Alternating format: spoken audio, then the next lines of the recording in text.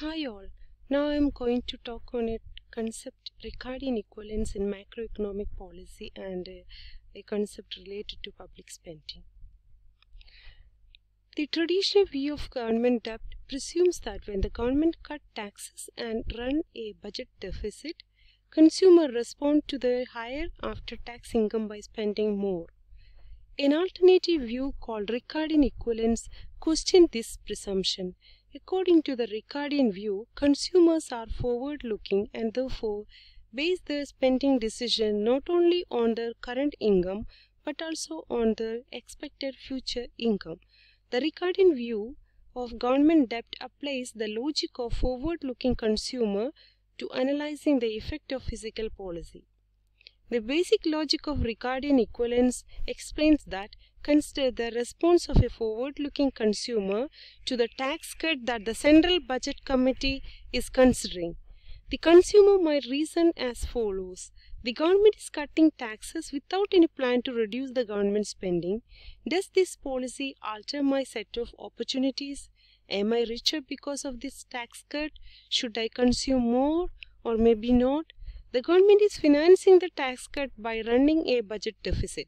At some point in the future, the government will have to raise the tax to pay off the debt and accumulated interest. So the policy really represents a tax cut today coupled with a tax hike in the future. The tax cut merely gives me a transitory income that eventually will be taken back. I'm not any better off, so I will leave my consumption unchanged. Does the forward-looking consumer understand that the government borrowing today means higher taxes in the future. A tax cut financed by the government debt does not reduce the tax burden, it merely reschedules it. It therefore should not encourage the consumers to spend more. One can view this argument in another way. Suppose the government borrows $1,000 from the typical citizen to give that citizen a $1,000 tax cut. In essence, this policy is same as giving the citizen a $1,000 government bond as a gift. One side of bond says the government owes you, the bondholder, a $1,000 plus interest.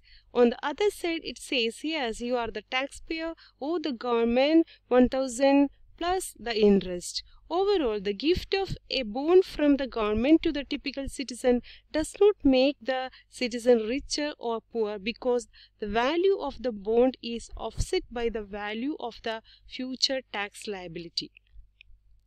The general principle is that the government debt is equivalent to future taxes and if consumers are sufficiently forward looking, future taxes are equivalent to current taxes.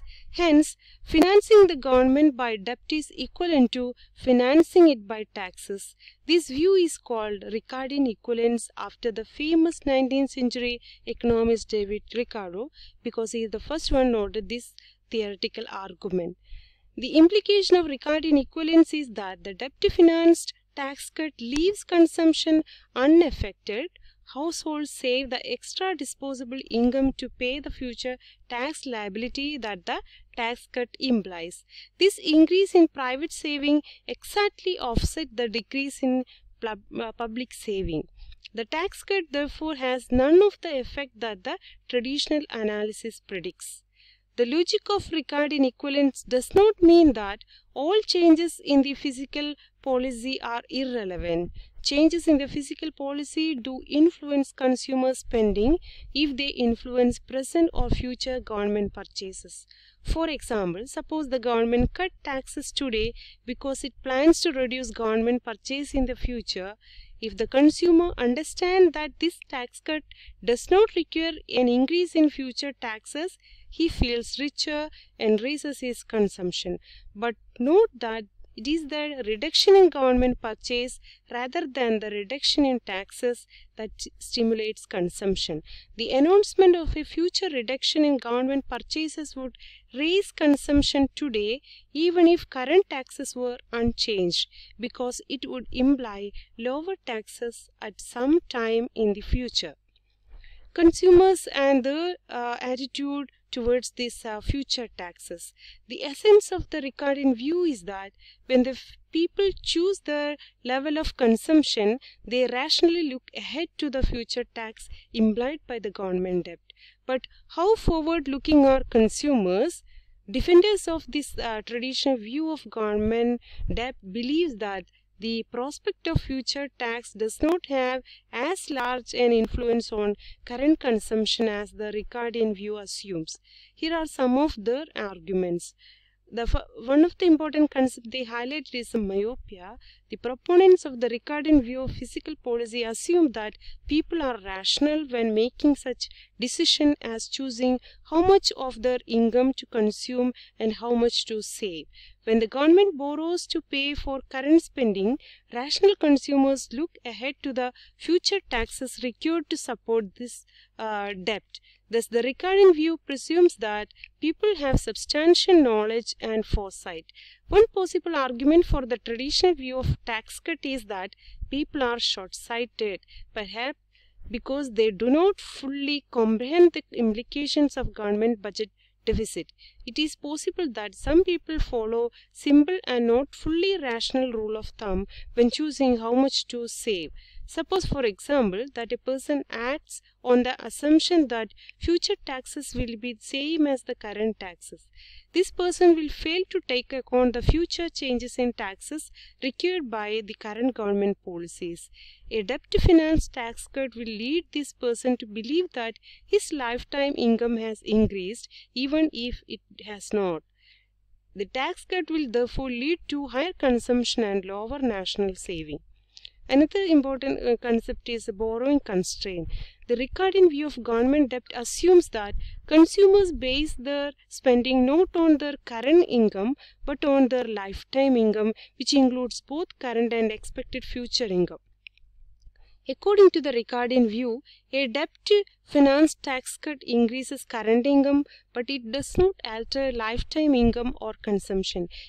Advocates of the traditional view of government debt argues that current income is more important than the lifetime income for those consumers who face binding borrowing constraints. A borrowing constraint is a limit on how much an individual can borrow from banks or other financial institutions. A person who would like to consume more than his current income allows, perhaps because he expects higher income in the future, has to do so by borrowing. If he cannot borrow to finance current consumption or can borrow only a limited amount, his current income determines his spending regardless of what his lifetime income might be. In this case, the debt to finance tax cut raises current income and thus consumption, even though future income will be lower. In essence, when the government cut current taxes and raises future taxes, it is giving taxpayer a loan. For a person who wanted to obtain a loan but was unable to, the tax cut expand his opportunity and stimulates consumption.